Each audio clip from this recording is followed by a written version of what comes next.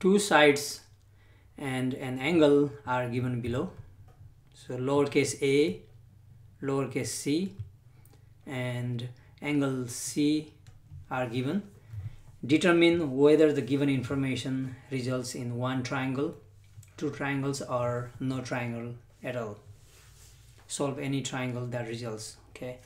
Let's try to draw a generic triangle based on this. Okay, it does not have to be exact okay so one of the angles is 130 that's bigger than 90 so bigger than 90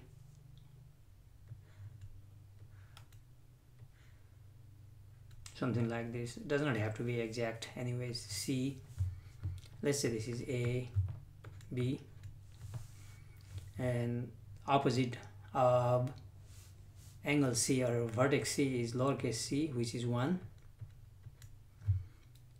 and opposite of A that's lowercase a is just 5 okay now if there is one triangle or two triangles then we are supposed to find angle B this angle. And this is given 130 we need to find angle B. We need to find angle A and lowercase b. This is b. So this angle C and side C are given. Lowercase a is given so we need to find a first. We can find a. Using the law laws of sines mm, we, we need to make use of a and c. So sine angle a over a equals sine b over b but angle b is not given.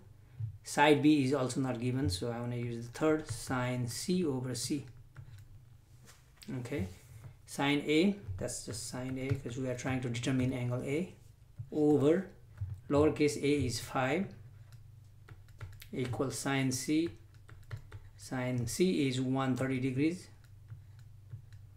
all over c which is 1 okay. So we have one fraction in the left hand side only one fraction in the right hand side. So we can cross multiply and note we are trying to note that we are trying to find angle a. So this first sine a this equals 5 times sine 130 okay and let's use our calculator. Make sure the mode in the calculator is in degrees. And 5 times sine 30 that will be sine a note note that. The sine a value should be in between negative 1 and 1 it should not be bigger than 1 and less than negative 1 okay so let me use my calculator. It gives 3.83 okay this is not good because sine of any angle should be always in between negative 1 and 1 this is bigger than 1 that means we cannot have a triangle with this given information okay? So that implies there is no a. Cannot have angle a.